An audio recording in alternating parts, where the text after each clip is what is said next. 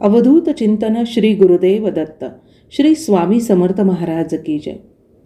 महाशिवरात्रीच्या पावन पर्वानिमित्त श्री गजानन विजय ग्रंथ आणि श्री शंकर गीता या दोन ग्रंथांमध्ये आलेल्या भक्तांच्या कथा आपल्यासमोर आज सादर करत आहे.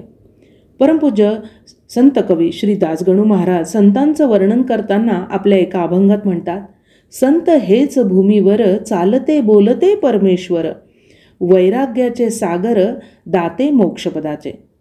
अहो श्री गजानन महाराजांकडे बघितलं की या ओळी कशा यथार्थ वाटतात. श्री गजानन महाराज सदा दिगंबर असायचे. अहो अष्टमहासिद्धी त्यांच्या दासी होत्या. उच्च कोटीतले महान अवलिया बाबा होते. कधी कसे वागतील याचा नेम नसायचा. कायम बालनमत्त पिशाच्या वृत्तीमध्ये असायचे. त्यामुळे त्यांच्या ह्या वृत्तीला बघून कच्चा गडी लगेच वाद व्हायचा.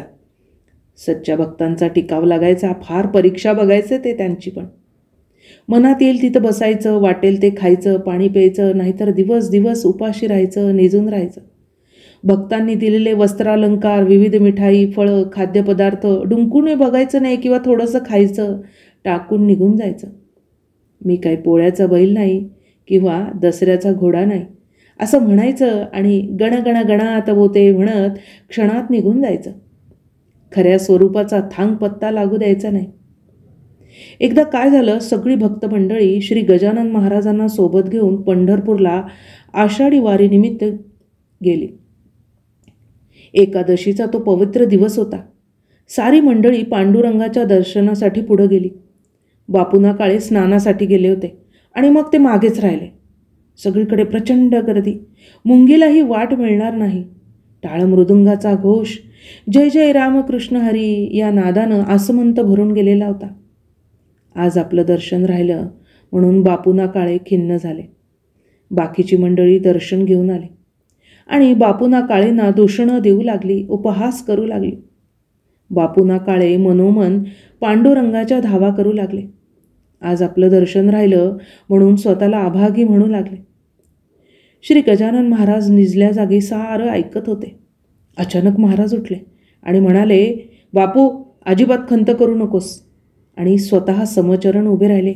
कटीवर हात ठेवले आणि क्षणात बापूना काळ्यांना श्री गजानन महाराजांच्या जागी साक्षात वैकुंठीचा राणा रुक्मिणी रमण पांडुरंग दिसायला लागला.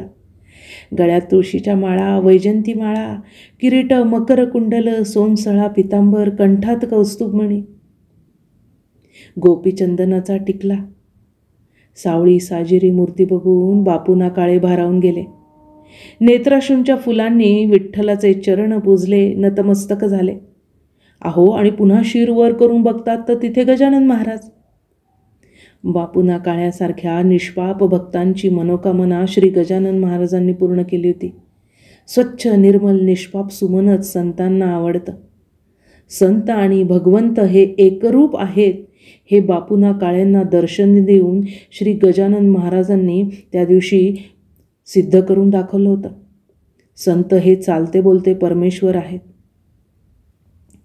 मंडळी हा प्रसंग श्री गजानन विजय ग्रंथामध्ये अठराव्या अध्यायात येतो. हा प्रसंग आपल्यासमोर मांडला कारण अशीच अद्भुत लीला धनकवडीच्या श्री शंकर महाराजांनी महाशिवरात्रीच्या दिवशी मेहेंदळे वाड्यात केली होती. आणि ही शंकर गीतेतली घटना तर अगदी अलीकडची आहे मंडळी.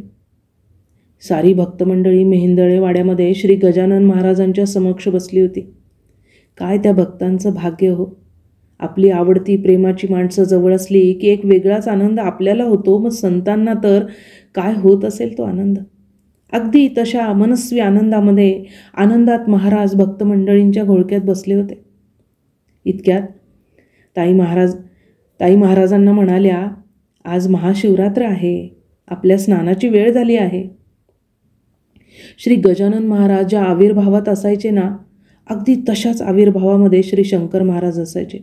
आपल्या खऱ्या स्वरूपाचा कधी थांगपत्ता लागूच द्यायचे नाही. शंकर महाराज पण अजानुबाहू अष्टावक्र मस्तकी शिवासारखा जटाभार मोत्यासारखे टपोरे डोळे. शंकर महाराज म्हणाले आम्ही नाही येणार तुम्हाला घालायचं असेल तर घालाच ना. सर्व भक्तांनी मोठ्या प्रेमाने मग महाराजांना सुगंधी जलानं उठणं लावून मंगल स्नान घातलं.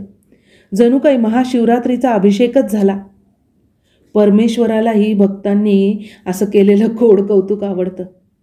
मग नंतर रेशमी वस्त्र नेसवून महाराजांना आसनस्थ केलं. भाळी त्रिपुंड गळ्यात रुद्राक्षांच्या माळा महाराजांचं ते दैवी विलोभनीय रूप पाहून सगळेजण हरकून गेले. ताईसाहेब तर भारावून गेल्या आणि म्हणाल्या आज महाशिवरात्र आहे शिवपूजन करून शिवाला बेल वाहूयात आता. त्यावर महाराजही होय म्हणाले मैं शिव हूँ मैं कैलास का रहने वाला मेरा नाम है शंकर. हे आपल्या आवडत्या ओळू गुणगुणू लागले. यावेळी बापू नावाच्या आपल्या एका भक्ताचा महाराजांनी उद्धार केलेला आहे. त्याला सात्विक अहंकार झाला होता. त्याला शिव्यांची लाखोळी महाराजांनी त्या दिवशी वाहिली. श्री शंकर महाराजांनी बापूंचं शिव्या घालून कोट कल्याण केलं. त्याचा सात्विक अहंकार पार पूर्णपणे महाराजांनी नष्ट केला. अहो अहंकाराच्या राशी प्रेमाने विरघळतात. तसा बापू अहंकाराचे ढग बाजूला होताच श्री शंकर महाराजांच्या चरणांवर नतमस्तक झाला चरणांना घट्ट मिठी घातली. नयनाश्रूंच्या मेघांनी महाराजांचे चरण कमल धुतले. श्री शंकर महाराजांनी मग त्याला मोठ्या प्रेमाने जवळ घेतलं. आज महाशिवरात्र मंदिर एकदाच उघडतं हा बापू. क्षणात महाराजांचा देह निळ्या रंगानं प्रकाशू लागला. त्यात शाळुंका झळकू लागली साक्षात सांब सदाशिव समोर प्रगट झाले. महाराज प्रत्यक्ष शिव दिसत महाशिवरात्र खरीही. बेल सर्वांनी शिवावर वाहून मस्तकी चरणांवर दर्शन घेतले सत्वर. धन्यता वाटे सर्वास. श्री शंकर गीतेतील चौथ्या अध्यायातला हा प्रसंग. संत हेच भूमीवर चालते बोलते परमेश्वर वैराग्याचे सागर दाते मोक्षपदाचे याची साक्ष हा प्रसंग देऊन जातो. महाशिवरात्रीला शिवाची आराधना होणार. शिव अर्थात कल्याण. शुभ. त्याला ज्याला भक्त ज्याला फक्त भक्तांचं कल्याण करणं एवढंच ठाऊक आहे. तुम्ही कसेही असला तरी शिव कल्याण करणारच. श्री गजानन विजय ग्रंथ आणि श्री शंकर गीतेतील हा प्रसंग. श्री विज गजानन विजय ग्रंथातील बापूना काळे मुळात निष्पाप भक्त होते. तर शंकर गीतेतील बापू हा सच्चा भक्त होता पण सात्विक अहंकाराने ग्रस्त झालेला होता. चालत्या बोलत्या संतरूपी परमेश्वराला सात्विक अहंकारसुद्धा चालत नाही. मंडळी आपण थोडं आपल्याला तपासून पाहिलं पाहिजे. आपल्याकडे तर केवढा अहंकार. आपला आणि अहंकार सात्विक कसला? राजस तामस. मग कसं चालायचं बरं? परंतु मंडळी हे जे संत असतात ना आपल्या भक्ताला कधी दूर जाऊ देत नाहीत हो. कधी रागावून कधी नापसंती दाखवून कधी शिव्या देऊन. तर कधी मोठ्या प्रेमानं त्याला जवळ करतात त्याचा उद्धार करतात हे मात्र नक्की. महाशिवरात्रीच्या पावन पर्वानिमित्त मुद्दामून दोन वेगवेगळ्या ग्रंथातील नाव सारखं असलेल्या भक्तांची कथा आपल्यासमोर सांगितली. आपण हे बापूना काळे होऊ शकतो किंवा बापू जरी असलो ना तरी संत चरणांशी शरण जाऊन कल्याण साधून घेऊ शकतो हे मात्र नक्की. अहो दोन हस्तक एक मस्तक आणि सुमन हेच आवडतं की शिवाला. महाशिवरात्रीनिमित्त शिवाच्या चरणी लीन होऊया. वाचन आणि लेखन वैशाली खोले.